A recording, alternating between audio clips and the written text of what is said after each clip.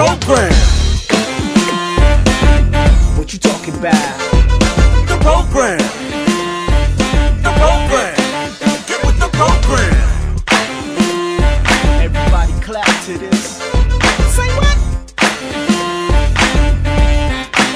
Get with the program. It starts now. Hello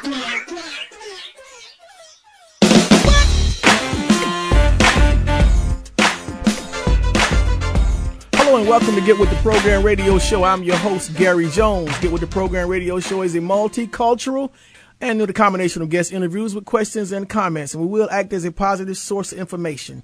Now, today we will be joined in the studio with SageWorks and Inmates Entrepreneurs CEO Brian Hamilton and the Director of Community Relations, Ms. Jackie Parker, and we will be talking about transforming inmates to entrepreneurs with a mission to assist formerly incarcerated individuals in starting their own business and engaging in entrepreneurship by providing resources, mentorship, and hope. That's going to be a quite interesting conversation. I'm looking forward to that very much so. Today we are in the studio with SageWorks and Inmates Entrepreneurs, uh, uh, CEO Brian Hamilton and the Director of Community Relations, Ms. Jackie Parker, and we will be talking about transforming inmates to entrepreneurs. Amazing. With the mission to assist formerly incarcerated individuals in starting their own businesses and engaging in entrepreneurship by providing resources and mentorship. So once again, welcome to Get With the Program Radio Show. Brian and Jackie, pleasure to have you here. Great to Good be to be here. here. Yeah. All right, good, good. And uh, you know, this is um this is going to be an interesting show. Now, Brian, you are the um you are the chairman and the founder of SageWorks, right? Tell me about SageWorks. Uh, we're a uh, Gary. It's great to be here. By the way, I'm so excited about it. But um, we're basically a software and financial information company located in Raleigh. We started about 20 years ago, and um, you know we're right here in the city. Mm-hmm. Okay, okay. Now, uh, you also the original architect of the uh, artificial intelligence uh, technology platform that is used by thousands of financial institutions and accounting firms. So, how did that? How did all that come about? Because this is big. Yeah, well, it's actually it's a great segue into sort of what we're going to be talking about today, which is helping small businesses. But what I noticed uh, for years, I I was the 7J provider, the Minority Business Development Center uh, consultant in North Carolina for the SBA. I worked with a lot of small businesses. What I, what I noticed, Gary, is that they are really good at running their companies, but they're not always good at understanding financial statements and financial data.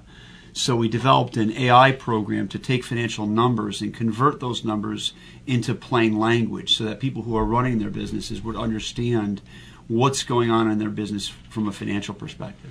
Okay, so and you're also a, a, a guest on uh, CNBC and MSNBC, and and also a, a, con, uh, a contributor uh, to the uh, Entrepreneur magazines, Yep. and that's one of my favorite magazines. I, I, I actually subscribe to that. I get that monthly. Okay. So I, I love that.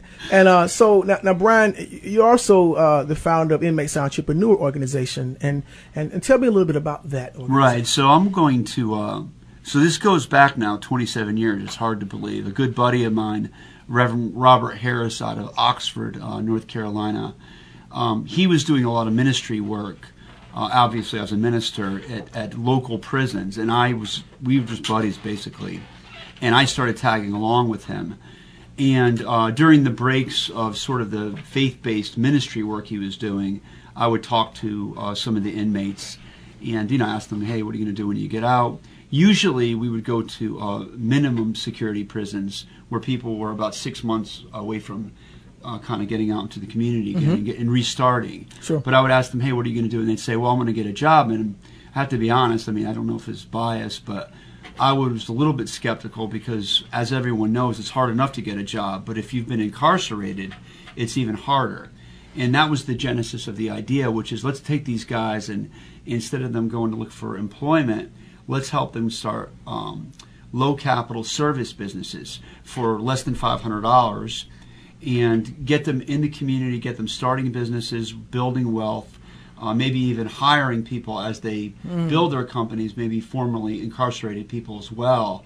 But this bit, this idea goes back about 27 years, and that's sort of the how I got started in it. That's pretty, that's pretty good. So in hiring them, you mean hiring them to come back to work for one of your organizations or work along with you? Yeah, the, the whole idea is that people who are have been in prison are more likely to hire people who have been in prison. and there's not a lot of advocates for people, as you know, who have been in prison. Um, the idea of our society is based upon a second chance. If you do a crime, you know you got to do the time, but when you get out, we want to reboot you and get you started. But the truth of the matter, especially with the internet right now, is that there's a bias against people who have been incarcerated. And so, what we're trying to do at Inmates to Entrepreneurs is, is say, look, when you get out of prison, rather than go and try to get a job, we're going to help you start your own business and, uh, you know, kind of reboot your whole life. And that that's why we started because we know, as you know, the, the rate of people going back to prison once they got out, get out, is still too high. In North Carolina, it's about 67 percent. So Wow. I, yeah, which is terrible. And, and by the way, that's actually uh, better than the national average. But there's just too many people getting out who can't get back into society, so they end up going back to prison. And we think one of the reasons is that it's hard for them to be, reboot Gary in a society that still has uh, systemic bias uh, and prejudice against people who have been in prison. So it's it's almost like it's a cycle. When when someone gets out, they can't find work, they can't find a job, so then they uh, uh, ultimately at some point go back to, to, to the crime or what they were doing and get Right. reincarcerated back in prison again. Exactly. My dad used to say that idle time is the devil's playground. Uh, Yes, I I've never knew what that meant right until I got older. But right, they get out, they can't get work, Mm-hmm. so maybe they start drifting back into some habits or hanging out with the wrong reference groups. Our point is let's get them out, let's get them actively employed in society, starting their own businesses. They can build their own wealth. Maybe as they build their companies, they can also hire formerly incarcerated people to reverse the cycle. And this has become, over the last 20 years, it's become a huge national problem. I don't know if you watched the movie 13, and there's all these movies around what do we do with the fact, Gary, that there's 3 million people incarcerated in the U.S., there's another 5 million on parole. How do we get them to be productive? We de- Nobody, uh, no, ma- no matter uh, black, white, Republican, Democrat, wealthy, not so wealthy, nobody wants these people back in prison. But what are we doing as a society to help them get back on their feet again and give them a true, a true uh, reboot? Now, especially by the way, one other thing on that point, Sure. Mhm. especially with the internet, there's a lot of great things to the internet. I'm not anti-technology. I'm in it. Right. But the truth is now, uh, you go and you type Brian Hamilton, Jacqueline Parker, uh, you type your name in there, Mm-hmm. you Google it, and now all of a sudden, anything that you've ever done in your All life, these tags, that- right? it that comes up. right? And so now we're having even more discrimination against people who have uh, been in prison Hmm. because people can find out what they did on the internet. And uh, to us, it's not just not fair, but how are we helping our society to get these 8 million people rebooted in their life and to get restarted? So, uh, we're, you Mm-hmm. know, we're very passionate about. By the way, most of our mentors are formerly uh, have formerly been in prison. Um, so you know, there's a lot of passion around sort of not our movement, but, but around our cause. So this is pretty much hands-on experience. That's Oh, what yeah. we, that's what we're dealing with. Now, now another thing when we had talked about uh, the prisons, uh, I I find that some of the prisons, this is a prisons a profit. I mean, they're getting Right. paid by uh, Yeah. the state in different places. So I, I would take it. This is just my personal feeling that they're in it for profit. So they like this cycle. Sometimes they, they may like this cycle going on because they're making money for the state, Yeah. which is bad on the person that's going to prison. Yeah, you know, it's you know, this is an incredibly good question. Yes. I often wonder. I just ended up there because I was hanging out with my friend Reverend Harris, doing. He was doing ministry. He's just my buddy. I was just tagging along. Do you know what I really think the, the issue is? I think the real issue is that not many Americans have been in a prison. See, I can't experience Vietnam. I wasn't in it. Mm-hmm. I can't experience being African American. I'm not black. Mm-hmm. Uh, maybe you can't experience being Irish Catholic from Connecticut. You know, and we just can't do that. We can we can try to do that. Mm-hmm. So here's the real issue: not many people have been in prison. They so they don't understand that there's a whole world out there that exists outside of them. So if we had more people visiting prisons, if we had more people who had relatives there, there'd be more empathy for these people. Mm-hmm. So my point is that I think the real issue is that until you live something, you don't know it. And so we just as as a society, we just sort of put up with this.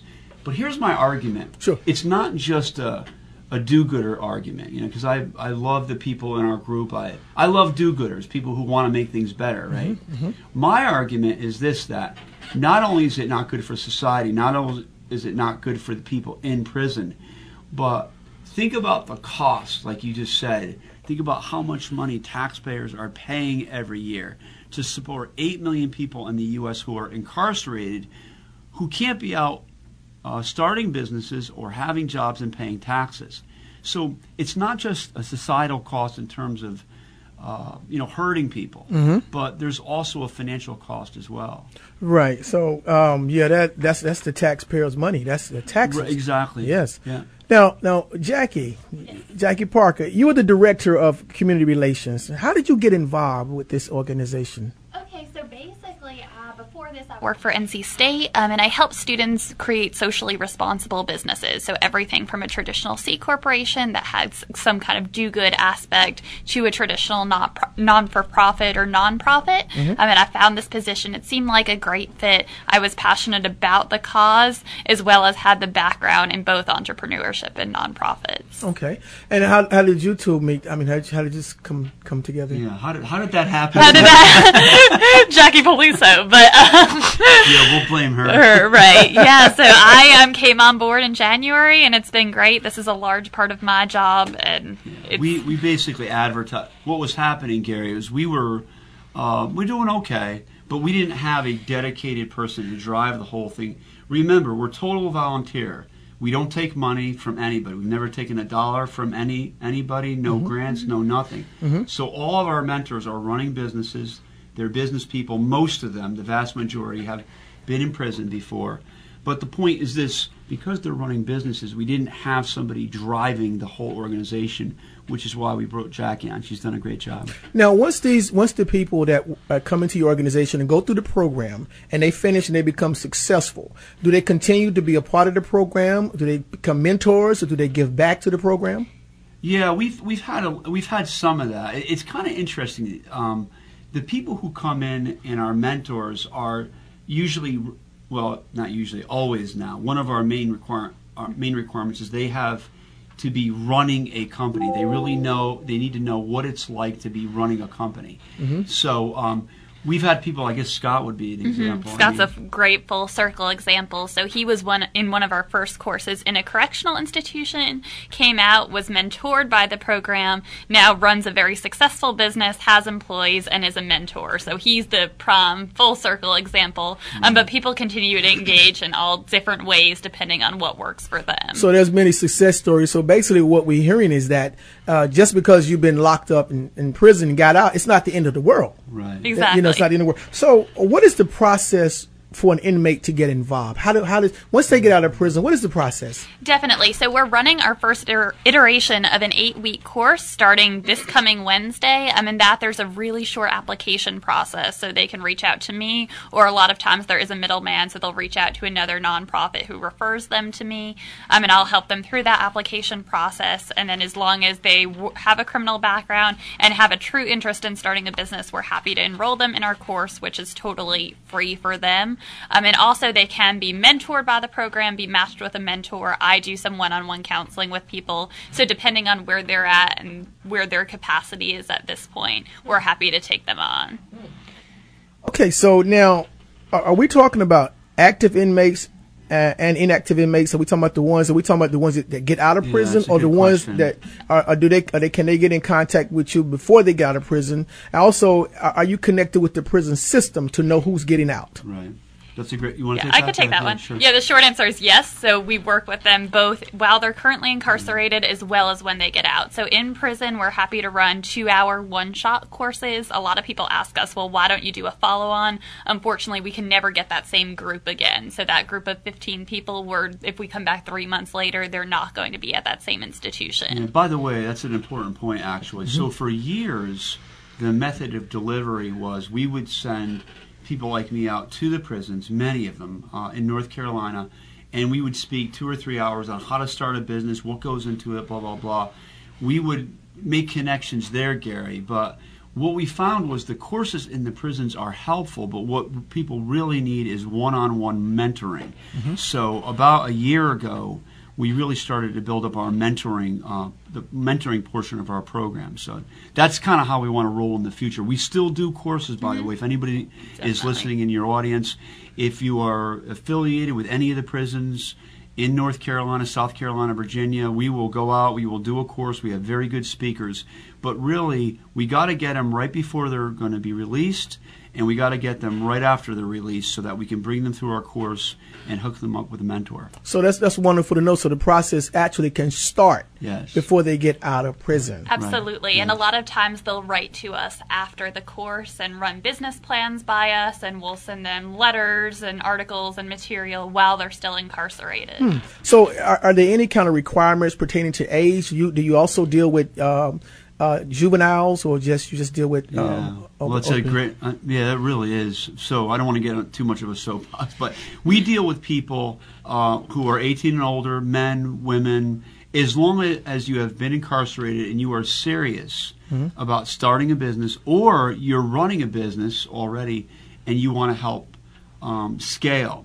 I do want to dip into one thing though. Sure. Without, I don't want to go. I don't want to go too far down this, but you brought up a really good point. I wish that we could get people earlier in their lives, like in middle school. Like, I mean, if you talk to AJ or Scott, you talk to most of our mentors. They were running businesses their whole life. I was. I started when I was in like middle school. Uh, I wish we would get the kids early so they would know a little bit more about entrepreneurship, so that they have options outside of just going to college and following the, you know, the regular program. Because college is great, but it's not for everybody. And I, I always think, it, as a society, if we got people when they were a little bit younger, uh, maybe they wouldn't take paths that are not so good for them. Right, absolutely. Now, what population do you have the most? uh, And when we're talking about race, based on race, uh, uh, you have the African American or the white, uh, the Hispanic. Which population do you deal with the most? your organization? Everybody, but, Everybody. but well, you- but you know, well, let's be straight about it. I mean, we deal, of course, anybody. We don't care, men, women, black, white, uh, Latino. It doesn't really matter to us. Mm-hmm. We just want to help people start businesses. But as you know, in uh, North Carolina, unfortunately, the balance uh, of the prison population tends to be black still. Mm-hmm. Um, so, but we deal with everybody, obviously. That's that's good information, no, and I think a lot of listeners kind of kind of are very much aware of that. So, how do you deal with uh, some of the mental issues? Because we know that um, uh, some people that uh, be incarcerated, they they go through a lot of different mental issues, such as uh, uh, PTSD uh, due to the lifestyle of being incarcerated. When they get out, how how do you deal with that? Do they go to some kind of Uh, counseling program? Yeah, I wish you didn't ask that one because it's so such a penetrating question and it's so important. Um, well, I've learned a lot. You know, I've started businesses. I've worked with uh, now you know hundreds of inmates and all this. But the po- let me answer the question. I'll give you Sure. some background. Absolutely. Um, there, there's uh, not let's say mental issues. I don't know how. To, there's anxiety issues. There's uh, post-traumatic stress syndrome. There's uh, depression. There's there's there's so the way the, the way we got to deal with that is hand-to-hand combat. We need to hook up people who want to start a business with a person, very much like uh, the AA program, where you have somebody you can call. You and that was a missing element for us for years, and that's the way we deal with it. We are not trained counselors. You know, we don't have psychologists on staff, so on and so forth. But the reason your point is a good point is because when you're dealing with people getting out of prison, you're not just dealing with economic scarcity. You're also dealing with social scarcity. Uh, uh, scarcity. People maybe have run off their families. You know, maybe they're uh, depressed, and so the only way we can deal with that really is get them hooked up with somebody who's been there and done it, done that, who really understands what they're going through, and can who can help baby step them to get them moving. Because, like you know, it's like a journey of a thousand miles starts with the first mile, right? You got to really get them early, and that's the way we deal with them. Mm-hmm. Any comments on that? Yeah, absolutely. And I think Brian hit the nail on the head. A lot of it is, and having people, I think it's so important, and that really sets us aside from other programs, is having people who have been incarcerated mentoring mm-hmm. individuals because they can give some firsthand experience that Brian and I couldn't give and other programs sometimes can't give. So I mm-hmm. think that really does set us apart, and that's sometimes the best thing is them having someone to be accountable to. and also people, Gary, too, who people who have been exactly where they are, right? Who have had no money. Maybe they've run off their family. Their family's gotten discouraged with them. They might have had drug, alcohol abuse. I mean, we all are creatures of problems. We all have that. Mm-hmm. But peop we have people who have been there and done that, who can relate to them, and that's what they need. And I and I realized that was a deficit probably a couple of years ago because before a couple of years ago it was really just going out and talking to the inmates. Mm-hmm. But you really need somebody who really understands what some of the people are going through. Because it's almost like it's it, like it's almost like a different language. It you have is. to put somebody that understands that has been through it. Absolutely. It's a and, you- different and like you say, you're not dealing with just financial scarcity. Like when I was coming up, Mm-hmm. we had financial scarcity. Probably there's a lot of people poorer than I was. There's probably a lot of people I know much wealthier. But, you know, uh, I had a lot of mentoring from my father. I had a, I had a, I had a decent support system a lot of the people in prisons don't have that support system, or maybe they've even lost that support system because they've gone through problems in life, whatever. But to get, we got to get them with people who have been there, and that is key. And what's so nice, I mean, because it's a heavy subject, you know. Yes, it is. But it is a really heavy subject. But to lighten it up a little bit, what is beautiful, and it is really beautiful, as how how embraced we are in the community um, throughout the community small business people, wealthy people, people who have never been in a prison, people who have been in a prison. But it's a beautiful thing to see people. This is what I always say to people. Sure. If you, on a journey of entrepreneurship, there are very common experiences, whether you've been in prison, uh, you haven't been. But what we've been, what we are really happy about is that people relate to this. They understand the inherent need for this in our society. It doesn't matter your background, doesn't matter your uh, religious beliefs or even political beliefs. People relate to it. So it's really nice that we're getting so much support. You know, I had a I had a uh, a person that I knew some years ago. He had mentioned a comment to me. He says, no matter because you, mentioned uh, no matter what religion, no matter what political background you're from. He mentioned to me. He says it doesn't matter who you are or where you're from or what you've done. He says anybody can go to prison.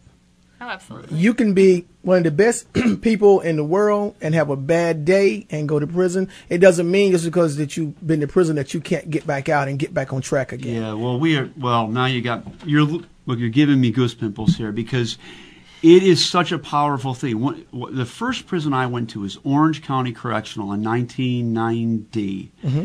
and here's the amazing thing: Sure. you talk to these people, and you're like, "Holy crow!" That could be me. That seriously could be me. Um, no doubt about it. Now, that sounds patronizing, but that is absolutely true.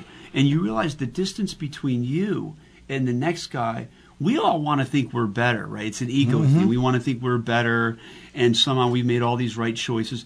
But the distance is very thin. And also, we live in a second chance society. That's what America America's made. America is made on the second chance that you can make a mistake and that you can move forward. Mm-hmm. And that is very important for people to remember that number one, there's not as much distance between you and the next guy. Absolutely. Usually, most of us have had been blessed. To, maybe we had a good mom, maybe we had a good dad, maybe we had a good uncle, maybe we have had good formative influences. Other people in our society have not had those. But even if they did, everyone in this country, if you make a mistake, you're still entitled to the second chance. That's what Reverend Harris used to talk about all the time. He used to give his second chance sermon, you know, when I used to go to his mm-hmm. services on Sunday. We all deserve that second chance. And there used to be a program I remember it was, it was a second chance program. Now, in case you're just joining in on the show today, we are in the studio with Sag Works and Inmates to Entrepreneurs CEO Brian Hamilton and the Director of Community Relations, Ms. Jackie Parker. And we're talking about transforming inmates to entrepreneurs. Transforming inmates to entrepreneurs. And we're going to continue this conversation, but we'll be right back after this message. Get with the program.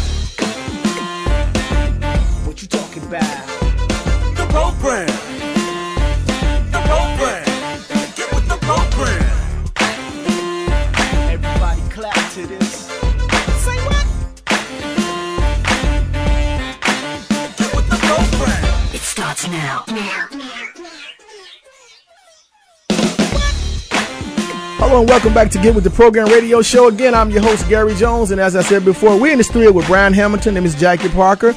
And they're of SageWorks and Inmates Entrepreneurs. I mean, we're talking about transforming inmates entrepreneurs. And I know everybody, most everybody in, in somebody's family somewhere has somebody that has been in jail, been locked up, or been in prison. Uh, so uh, this is a good conversation that we're having with them today. Once again, welcome back to the show. Now, uh, Brian or uh, Jackie, what are some of the biggest challenges that you face with the inmates that come to seek entrepreneurship? What are some of the biggest challenges as far as keeping them there, what, what they're going through? What are some of your biggest challenges? I'll start with some basic ones, Gary, and then we'll sort of build build up from there. The first one, obviously, is capital, which is why our whole program is built on starting a business with less than three hundred dollars.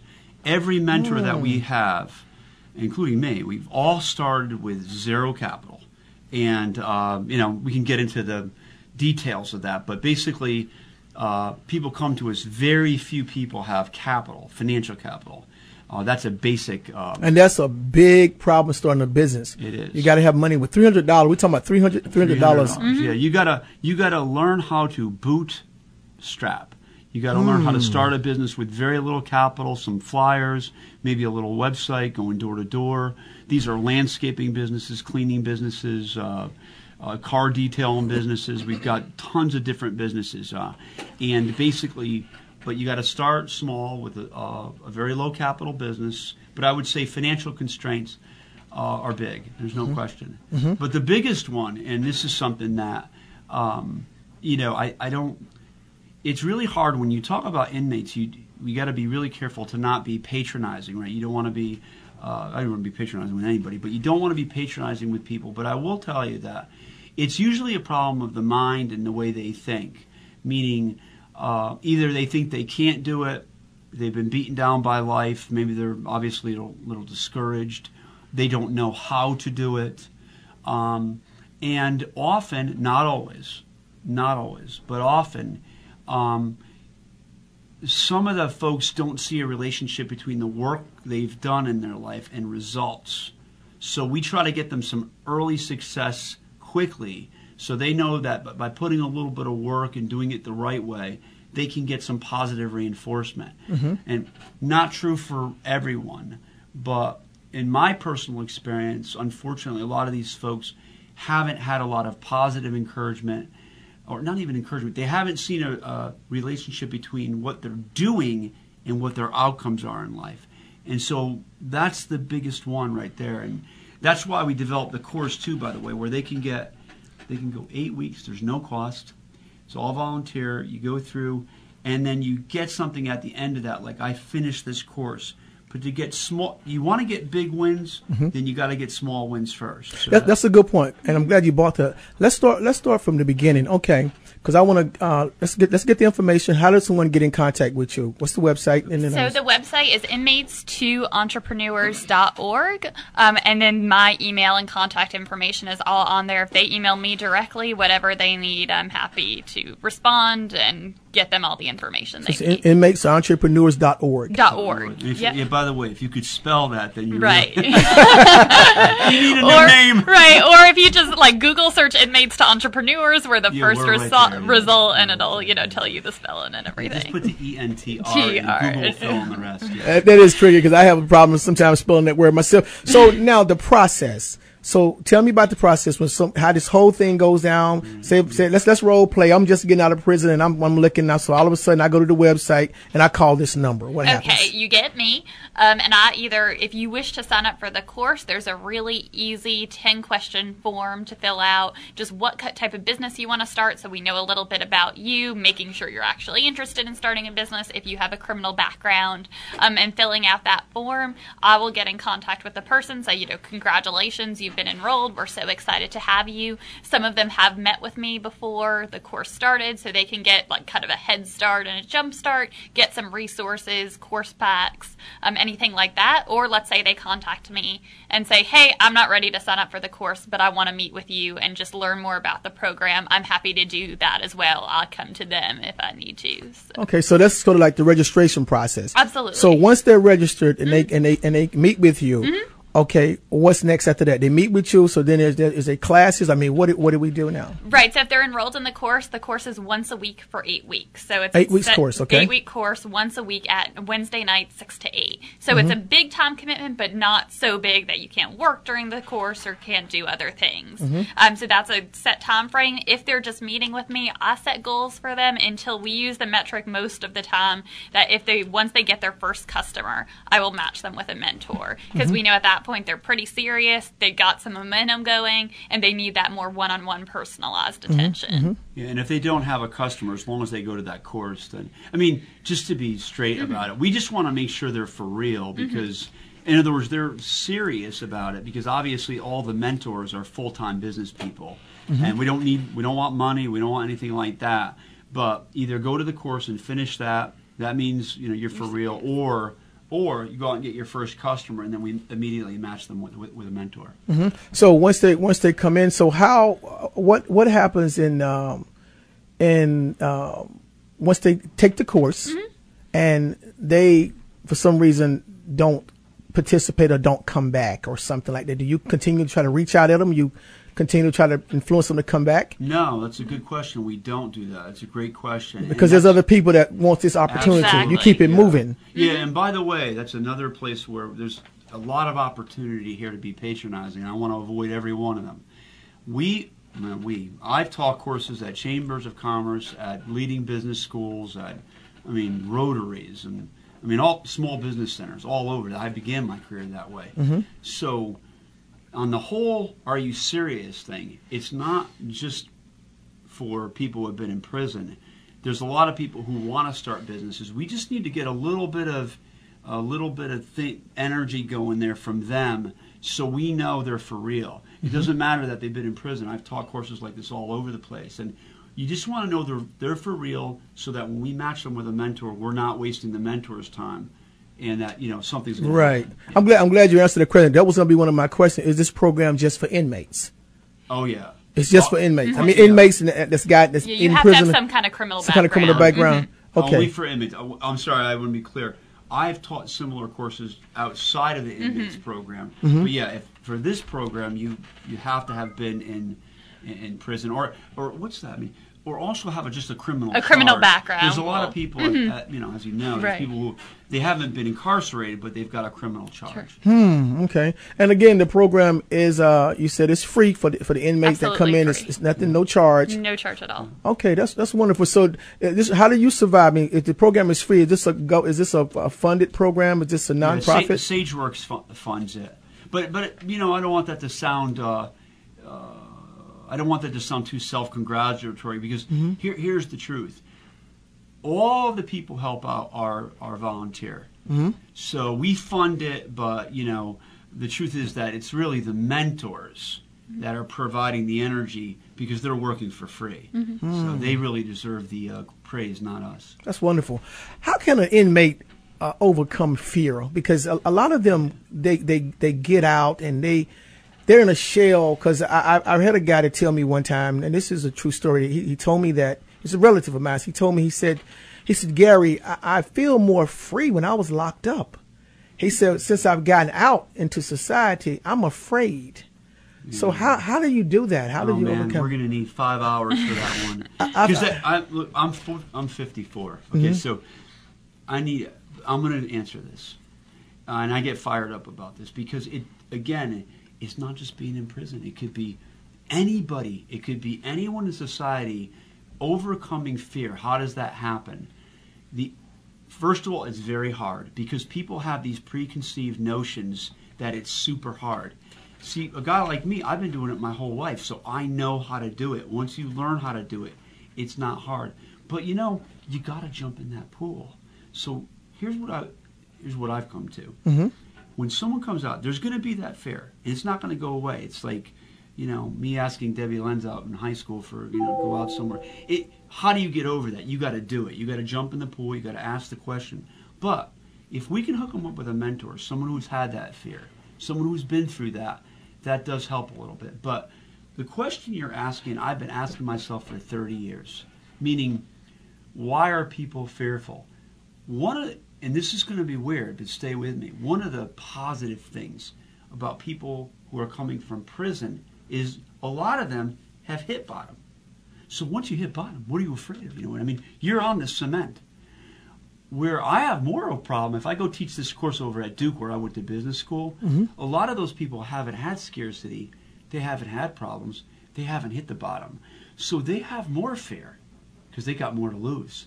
If someone comes out of prison, right, they've been on the floor. Mo- You know, they've had some. That's a good point. You have no way to. If you're on the floor, you have no way to go else but up. Yeah. Mm-hmm. Where are you going to go? You're not going to go to China.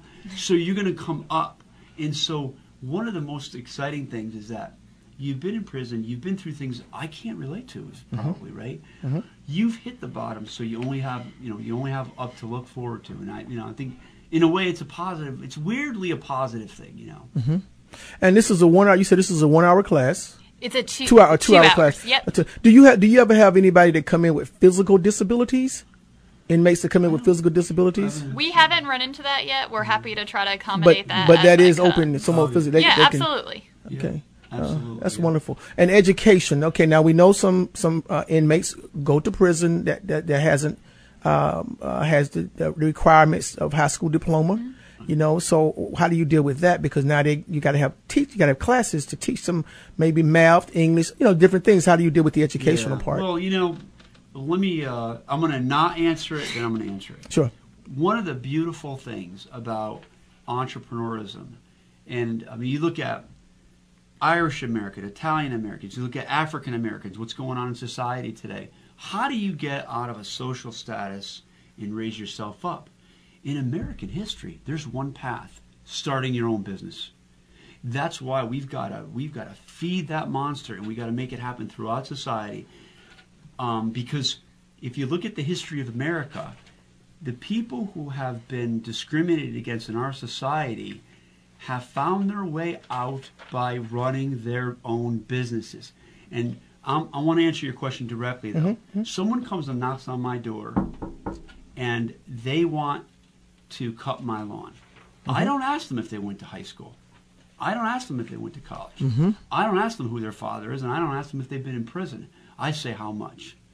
And so my point about that is it's a bummer that you don't have a high school degree. We, of course, we want everybody to have them. I get it. But it doesn't matter because you can cut my lawn. And that's the exciting thing about entrepreneurism in this country. And really, it's the way we got to get out any discriminated group. We got to get them out of that funnel through through being an entrepreneur. That is, I, I I actually had goosebumps on my arms, and he was because if, you was in the studio with me, listeners, you could actually see the expression and the feeling on Brian's face. But he is absolutely right because uh, a lot of times it, you don't, it doesn't have to have education or, or something to to uh, to do a job. I mean, it's like he said, you got people doing landscaping. I can't do landscaping. I can if I have to, but that's not what I do and uh, a gentleman could come in my yard and cut my grass, and he knows exactly how to trim it. So you're absolutely right, because I find that a lot of entrepreneurs uh, who, who are rich today, some of them don't have high school diplomas, they're not educated, but what they do is they they step out there. As you mentioned before, they step out there on that bridge and they walk the walk and talk the talk, and then they surround themselves around the resources that make this ball turn. and that works. So you look at Reverend Harris. I don't want to call Reverend Harris the founder of Inmates, but he's the, he's the genesis of this whole thing. Reverend Harris comes out of uh, Creedmoor, North Carolina. Grew up there, um, and um, I mean, I don't know. I think his, his grandfather was a slave. I don't know. He started with nothing, 0 The guy uh, developed his own headstone company, monument company. You know, a grave gravestone company. Made his own machines by hand. Incredibly good with his hands. No education. Um, did it from ground zero, and he is not an exception. Most entrepreneurs start with very little money. Most entrepreneurs don't. Well, a lot of entrepreneurs don't have an education, and so, uh, you know, and, and, I mean, you look at the history of our country. Whether it's Steve Jobs, Andrew Carnegie, Henry Ford, none of them were educated. So, amen. I hope this doesn't change. You know, in our country, you don't need an education. Not to say you shouldn't get one if someone's listening, right? That's the best path out. The best path out is to get educated and you don't have to be a sharp. But, you know, I'm goofing around. But but we don't need an education to be an entrepreneur. Definitely. Oh, that, that that is that you know that is that is absolutely true though because a lot of people are really uh, doing it without education, uh, and and and you you would think that someone that has a master's or a doctor degree and or a PhD that it puts them in a special bracket. But again, as we talked earlier in the show, even they can be incarcerated. Don't be fooled. And then what? And then once they're in prison, what does the education matter? Mm-hmm. You're on the same platform with everybody else now. So it's, it's not saying you shouldn't get your education, as you mentioned. You, I mm-hmm. mean, you should still do that. Now, as far as this organization, you mentioned the website. Now, I know Inmates Entrepreneur uh, provides a, a library of videos and other resources, answer many of the most common questions people have on starting a business. Now, uh, those videos can be found on the site to start a business. Give me that site again. Yep, so it's inmates to entrepreneurs.org, and all the videos are up there, and it'll link to our YouTube channel where you can see there's 50 or 60 videos on starting a business. So if you can't make our class, don't want to meet with me, that's or you're somewhere else and not in the Raleigh area, that's totally fine. Mm-hmm. You can go and watch those videos and get that background Yeah, that by way. By the way, one important thing too. Sure. What we want to do is mm-hmm. reach every inmate in the country. Mm-hmm. So we're trying to make the website the university. So we keep adding more and more content and videos so that people throughout the U.S. can download those videos and watch them and share them, so they don't need to come to our class. See, our mission is to reach every inmate not to build this just in North Carolina. And as you know, you you can do a lot through the web, and so um, people can go to the website and download the stuff for free and share it with their friends. Uh, that's that's real good information. So now we only have a couple of more minutes left.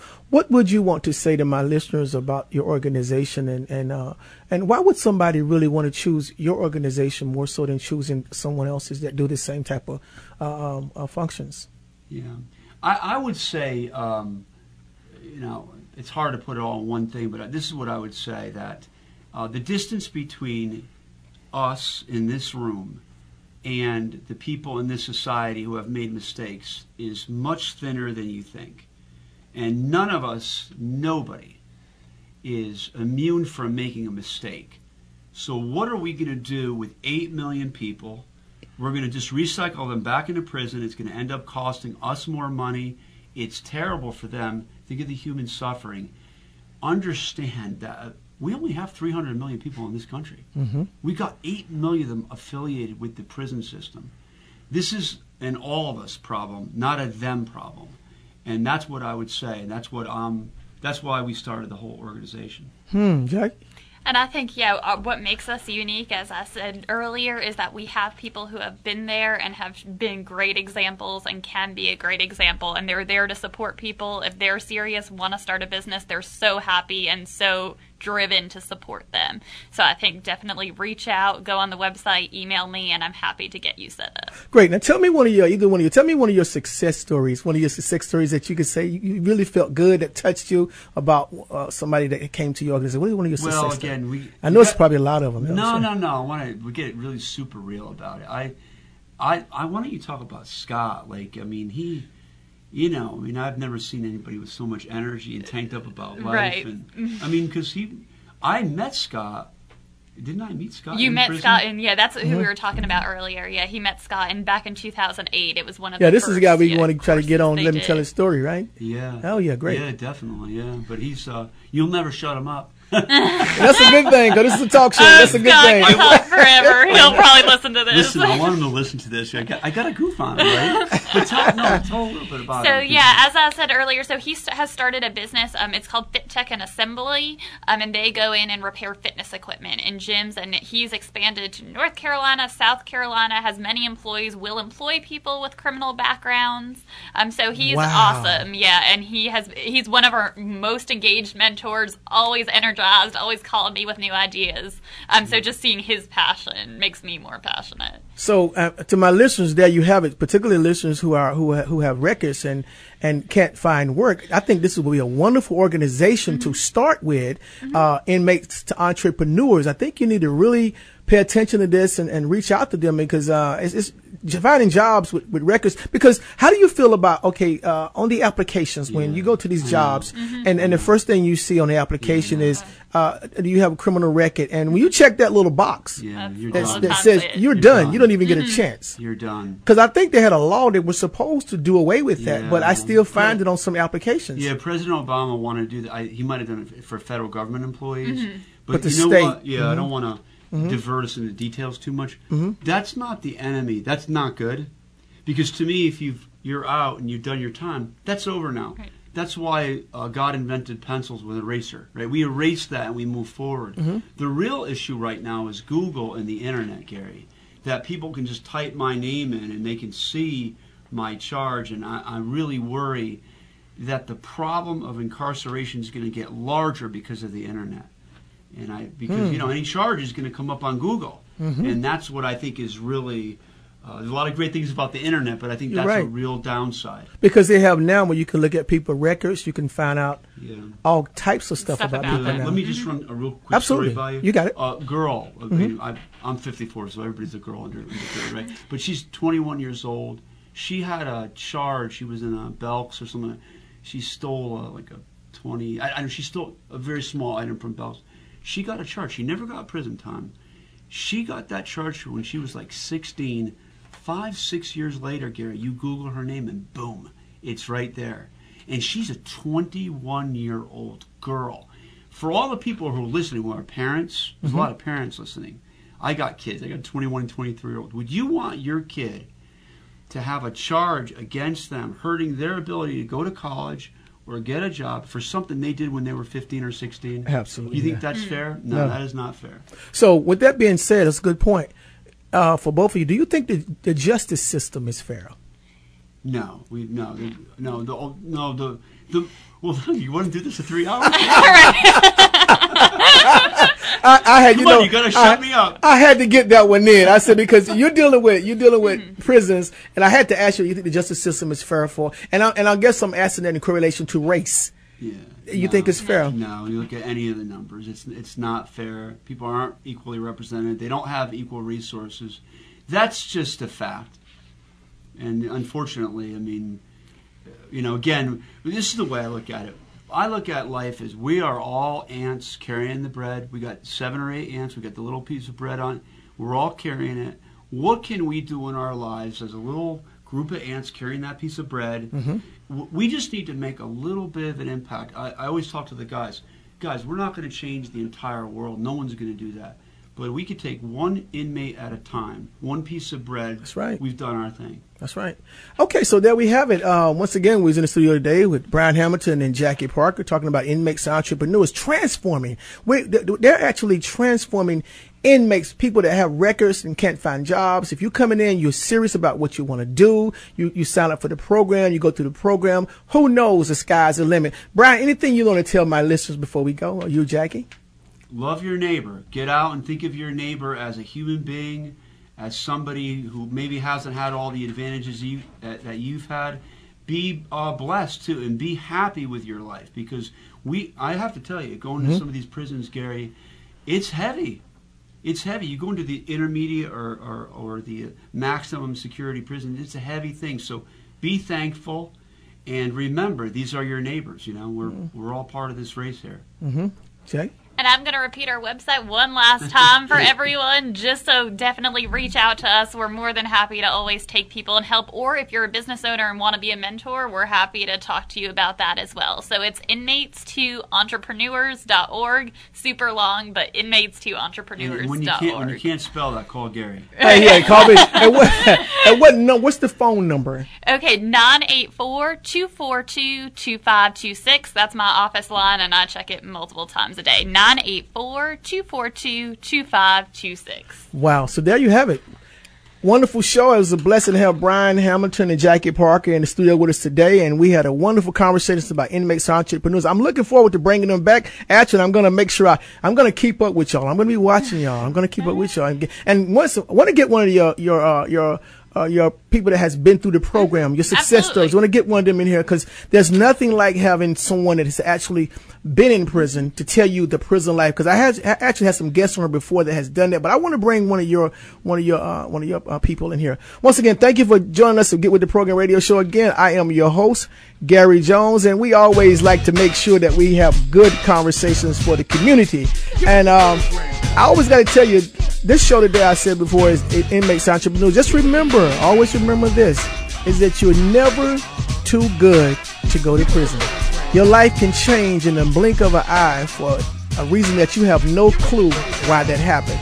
So don't think you're better than somebody else. So when somebody gets out, and get out of prison, please stop judging about what they've been through. If they can do the job and they and they and they're gonna follow the rules and regulations, give them a chance. Once again, thank you for listening to Get with the Program Radio Show. I'm your host Gary Jones. So until next time, take care and uh, be blessed. Hold up, hold up. Get with the program. What you talking about?